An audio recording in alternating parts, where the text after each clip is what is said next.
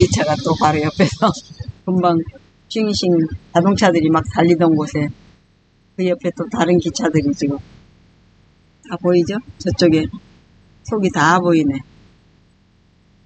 어, 이런 또 이런 구경을 하네요. 저쪽은 우리 쳐다보고 우리는 저쪽 쳐다보고 꽤 사람들이 그래도 많이 있네요. 저녁 기차를 많이들 타네. 네. 참 싱싱 가고 있네. 우와. 바로 옆에. 그 신기하네. 저기, 저기도 기차인가? 저쪽도? 어디? 자동차 길. 자동차 길이야? 저 위에는 자동차 길인데 밑에는 기차인데? 아, 트럭이구나. 음. 자동차 길이구나.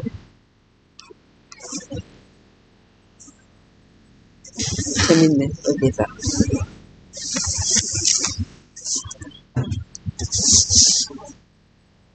네. 저녁 기차 풍경이 이렇습니다. 저쪽에 사람들은 저기 다 앞에는 앞에도 다 저녁에도 평화롭게 그냥 기차가 가고 있습니다. 저- 지난번에 은영이네 가족들도 이 기차를 타고 LA로 갔어요. 그래서 하룻밤 다들 집에서 자고 네, 비행기 한국 갔죠.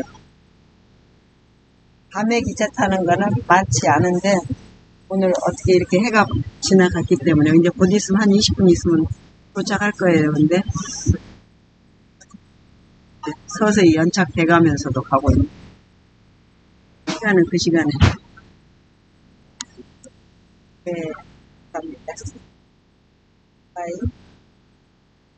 배터리가 거의 간당간당해요. 내가 아까 아이들한테 영상 보내느라고 배터리를 써버렸네.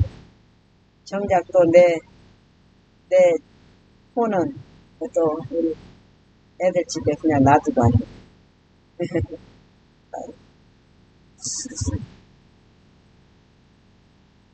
아까 진짜 여기가 이쁘네.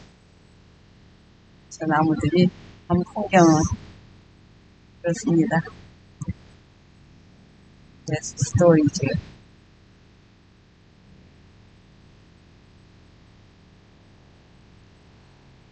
바로 줌줌 오고 있습니다. 재밌는 미국 열차 풍경이네요. 이제 한국 지하철은 바로 옆에 차들이 막 지나가는 거는 별로 못 봤던 것 같아요. 지하철이가 지상철이